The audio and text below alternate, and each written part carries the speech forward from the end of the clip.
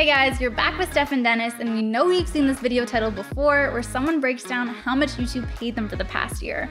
And yes, we are gonna share with you exactly how much we got paid because we think income transparency is super important, but we also wanted to put a little twist on this video and break down how personal finance YouTubers, specifically the big ones that get paid a lot, are getting richer and richer with these earnings. So if you came to hear our income total, don't worry, you're gonna get it, but we're also gonna do a fun deep dive into the world of money YouTubers and their money. A quick recap on us to kick us off here. We got on YouTube in about mid 2019, started posting about money and career topics specifically in January January 2020, got monetized in about mid 2020, July 2020, and then 2021 was our first full year making money off of YouTube. But enough about us for just one second. We're gonna start by talking about how people make money off of YouTube in general and then get back to us.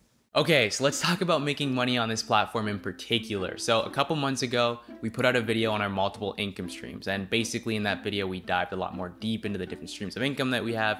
But if we're talking YouTube in particular, according to the YouTube guidelines, you need to have at least a big enough following in order to get paid.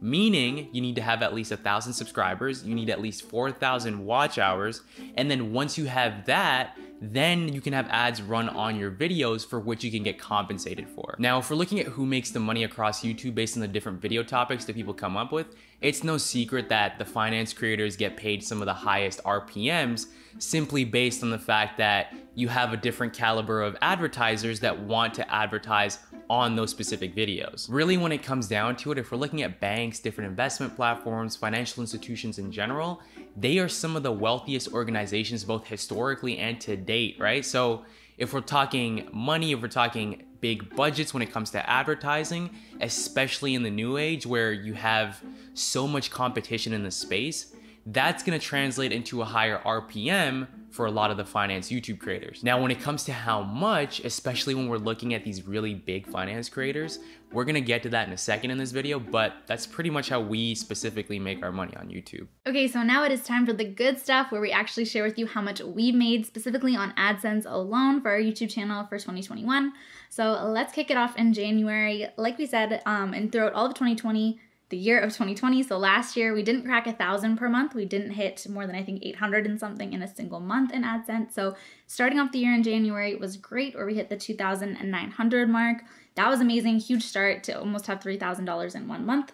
So at the time, it was a mix of a few things. We had, um, we posted the most videos per month that we did all year. We posted nine or 10 videos. The rest of the months of 2021, we posted six or seven. So that had an impact. If you look at the RPM, it was $8.78. Definitely on the lower side too. So if it was a higher RPM month, we would have made even more money, but still more than I think our average of the year. There were some months that were a lot lower than that. And um, what else happened? We had a few videos that had over 100,000 views as well. So not only did we post more videos, but we also got more views on those videos. So a higher overall rev revenue total for the month. So that was what happened in January, which was an extremely exciting way to start off the year. If we hop over to February, let's see what happened in the shortest month. So the revenue was still pretty high at $2,345. Same thing where we posted a few more videos. I think there was about eight videos that month. Um, we had another one on specifically our apartment hunting videos. Those are some of our most views to date. So that helped it. And also some of the videos from January kept getting a lot of views throughout February. You can see the RPM was up a little bit at $9.88, which helped that total as well. So now if we look at 2021 as a whole to kind of show you how the months played out after that, you can obviously see that January and February were a bit higher and then it kind of went a little lower. There are some bumps up in here and there as we had specifically big videos, like our apartment tour was a big one. We had one in April that got pretty big. Um, looks like there was one in July there as well, but throughout the months it was pretty steady. We were making about a thousand to two thousand per month, just under that two thousand mark. You can kind of see it down here: seventeen hundred in July, one thousand one hundred seventy-five in August, sixteen hundred in September, and then October. You can really see that's where we had another spike up again. So let's take a look at October to see what happened there. So this was actually our highest earning month of the year after January, which was number two. So we made $3,215.80 and 80 cents and 8 cents. It was up 94% from the month before, so a huge revenue growth from us at, uh, for this month. Now, it was a few things. We posted our I Quit My Job videos, both of them, plus Great Resignation, some big videos like that. So again, another month with really high views over several videos. And at the same time, the RPM was huge this month. This is what had the biggest impact on it being the highest revenue month, even though it wasn't the highest views month. And we didn't post Again, we only still posted six or seven videos, so it was mostly this RPM that drove the overall revenue. So you can see the RPM was $14.28. That is definitely our highest month of the year, considering that the average throughout the year, I think we'll show you that in a second, was only $7.86. So $14, double our average revenue for the year. That was huge. And now you can actually see the final total that we got for the year. This is as mid-December um, of 22,816 and 5 cents. So we'll probably in the next two weeks crack that 23,000 mark. So 23,000-ish is how much we made on AdSense this year, 2021, for a channel with 50,000 subscribers and a few videos over 100,000 views. the last thing I want to point out is also our top earning videos. I think this is interesting because if you look at them, they're actually all from the very beginning of 2021. So our two apartment hunting videos and the how I'll save 60% of my income. Those are all videos that had over 100,000 views and were early, early in the year, January and February. But at the same time, we also have this TFSA video that was our fifth highest earner of 2021. And that video was actually posted in July of 2020. And at the time, it didn't have as many views or as high of earnings by far. I think we only had like $100 off of it all of 2020.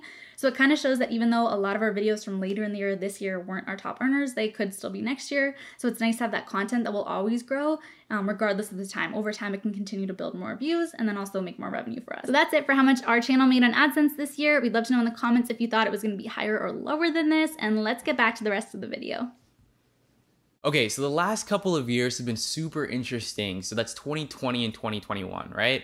And when me and Steph were talking about doing this video, something that came up was the fact that the finance YouTubers, particularly the big ones, they've gotten really, really rich super quickly. Now, when I say personal finance or finance YouTuber, I'm talking about the heavy hitters or the leaders in this space. And we all know who they are, right? This is the Graham Stephans, Meet Kevins, Andrei Jikhs, Financial Education with Jeremy, basically the Millennial Money YouTube channel. And I say all this to make sure that we're all on the same page. So let's start at the beginning of 2020 before we even head to the pandemic, right? The financial space looks really interesting because you have a bunch of up and coming companies that are really disrupting the investing space in particular. So I'm talking the Wealthsimples for those of you that are in Canada, and I'm talking the Robinhoods for those of you that are in the States. These two companies alone, love them or hate them, they were absolutely disrupting the market. Previously, people didn't even feel comfortable talking about investing now, all of a sudden, they have access to low cost investing at the palm of their hands. So, now if you're following what I'm saying, basically what happened is we kicked off the year with a climate where a lot of people were already looking to learn more about investing and were signing up for these low cost, low fee investment platforms. And then once March of 2020 hit and we had our different closures, we had our little mini recession there, and people were at home, all of a sudden, YouTube had had this influx of just this really big audience of people who were looking to learn more about personal finance and investing. So the big YouTubers, the big personal finance YouTubers who already had an audience, they were able to capitalize on this newfound just like influx of people. So now this is where we saw a shift in the quantity of videos being made and also the RPMs in relation to those videos. RPM rates were super, super high for personal finance videos, especially during the summer of 2020. We literally saw creators like Meet Kevin go from putting out one video every single day to all of a sudden doing five, six, seven, eight videos a day. So if we take a look at other creators like Graham and Andrei, for example, even though they didn't necessarily increase their output of videos, they still capitalized on the fact that so much was happening in the financial markets. If we take a look back at what was happening during that time, we had the whole GameStop versus AMC thing that was going on. We had a stimulus check update basically every other week, and we also had Wall Street bets being mentioned on pretty much every news coverage that was going on, which is crazy. Speaking of stimulus checks, if you guys remember that first point that I made where I told you that everything was somehow related to one another, what was happening is people were getting their checks, and then that money was somehow ending back into the financial markets because guess what? People had Wealthsimple, people had Robinhood, and now had access to the investment markets like they never had before. So now what we have are people with money and investment platforms. We have YouTubers creating content on how to invest and basically explaining everything that's happening around you. And then we have, once again, YouTubers making all this money and capitalizing on the fact that they have this newfound audience and the fact that rates for these videos were also really high. To give you guys an idea of just how much money these guys were making, Graham put out a video where he mentioned that Meet Kevin was making anywhere from, I believe, 200K to $400,000 a month. And I believe Graham himself was also making just $200,000 a month. And I said just on purpose. Now, what I think is interesting is the fact that these specific creators who are at the top, they're more so on the entertainment side than they are professional investors, right? And the reason I'm even bringing this up is because we also saw a shift in the risk profile of all these individual creators. So if we take Graham, for example, he has historically, in my opinion, been a very risk averse individual. The majority of his money has always been put to those, you know, broad market funds. He rarely ever talked about his direct investments unless they were real estate. And I'm not saying this is bad, I'm more so just pointing out the facts and what I saw.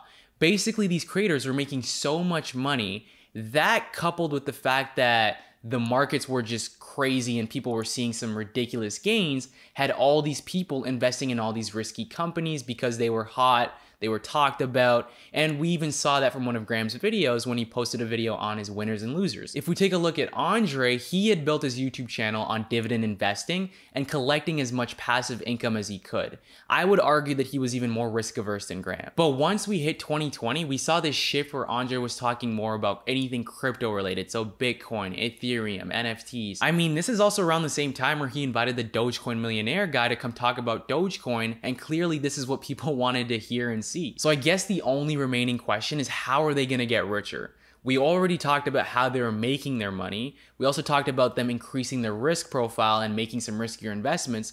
But at the end of the day, they're personal finance YouTubers. So when it comes to the basics, they know to put the bulk of their money in these broad market funds, which is exactly what we saw them do. Something else to keep in mind is that they have so much more money now that they can spend 30 to 50 grand on NFTs with the hopes that the value is gonna go up. In general and in the most simplest terms, we've seen so much happen during the pandemic and in the last couple of years that when it comes to these YouTubers making money, realistically, all they have to do is take that money, put it back into the market, and it'll birth more money. That's just that's just how it works. We hope you all found that as interesting as we did because we've definitely been keeping an eye on these YouTubers of the last year to see how things have been changing. Now, in general, of course, it's ideal to be maximizing your income as much as you can, throwing as much of that money as you can into investments so that you can grow your net worth and your wealth that way, which is exactly what these YouTubers have been doing.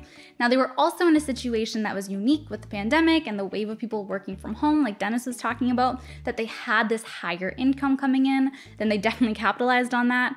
And then on the flip side, these markets that they could put their money into were giving them this huge return in a short period of time. Now, this was obviously a beautiful win win and super amazing for them. Now, all of this was a case of perfect timing, and it's not really over yet because a lot of people are still making a lot of money off of YouTube and the markets are still super high. But obviously, this can't be the case forever. At some point, we don't know when, but eventually a crash is gonna come. And then there's potential that this pattern could repeat itself after that, but we'll have to wait and see. Overall, we of course think it's a great idea to learn from personal finance creators, money creators on YouTube, podcasts, all of that, especially when it's free resources. It's a great place to go for information. But at the same time, it's really useful to know how these creators make their money and just how much money they're really making too. And it's really interesting stuff. So let us know if you guys like this topic and if you want to hear more about different topics like this and how people are making their money. And if you do, let us know in the comments. Alright guys, so that's a wrap on this video. We hope that you enjoyed it. We do have one more video left for the year, so make sure you stay tuned for that one. It's coming up soon. As usual, you guys know we want to hear some of your thoughts and comments down below, especially on some of our favorite finance YouTubers. Like, let us know what your thoughts are on them getting rich or, you know, basically everything that's been going on. In the meantime, if you haven't already shown us some love down below with a like, make sure you do so. It really helps out the channel. If you haven't already subscribed, make sure you subscribe right there in the corner. And if you haven't checked out any of our previous videos, make sure you check them out next door door. We will be back you know the vibes. Let's go.